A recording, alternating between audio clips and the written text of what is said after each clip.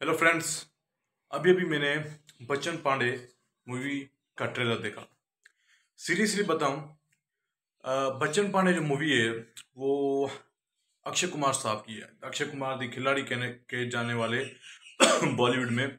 वो खिलाड़ी के नाम से भी मशहूर हैं कॉमेडियन के नाम से भी मशहूर है एक्शन हीरो के नाम से भी मशहूर है। पिछले, जो पिछली जो भी मूवीज़ उनकी आती थी ना, या तो वो सिर्फ़ कॉमेडी होती थी, या तो सिर्फ़ एक्शन होती थी, या तो सिर्फ़ सोशल मैसेज देने वाली मूवी होती है। मुझे तो लगता है इस मूवी में अक्षय कुमार साहब ये तीनों काम करेंगे। सोशल मैसेज भी होगा एक्शन भी होगा कॉमेडी भी होगी डांस भी होगी, हर किस्म का एक माहौल जो वो होगा।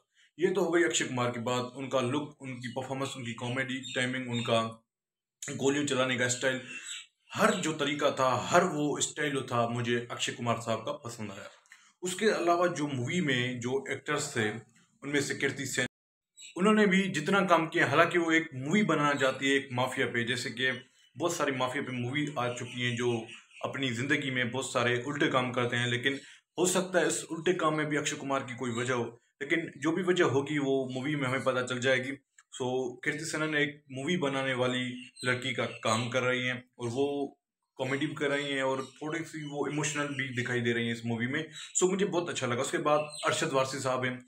अरशद वारसी साहब वर्साटाइल एक्टर हैं। उनको जो भी रोल दे दे दें आप, वो खुशी से निभा लेते हैं और बहुत ज़बरदस्त रोल और बहुत ज़बरदस्त तरीके से उन्होंने रोल निभाया है।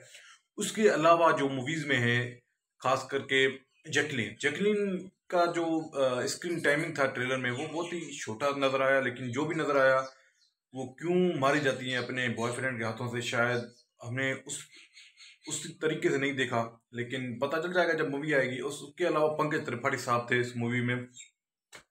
सो so, सी पंकज त्रिपाठी जो होते हैं ना वो एक मूवी का बैक बेन हो बैक बोन होते हैं। वो जिस मूवी में भी काम करते हैं ना वो सारा जो मिला है लूट लेते हैं अपनी तरफ़।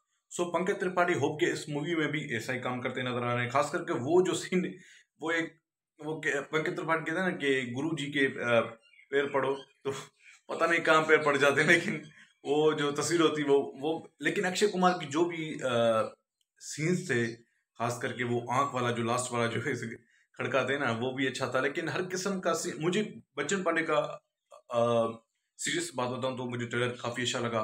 और इंटरेस्ट भी था और एक छाप छोड़ जाता है आपके दिल में के, आपके दिमाग में के आगे क्या होने वाला है मूवी में जब आएगी। लेकिन जिस, जो, जिस जिस लोगों ने, जो जो मूवी आई, जिस जिस लोगों ने देखी, उम्मीद है कि सबको ट्रेलर पसंद आएगा, लेकिन मुझे बहुत ट्रेलर पसंद आया और उम्मीद है कि मूवी भी वैसी हो जैसे ट्रेलर दिखाया गया है। Comedy timing interest look action हर किस्म का इस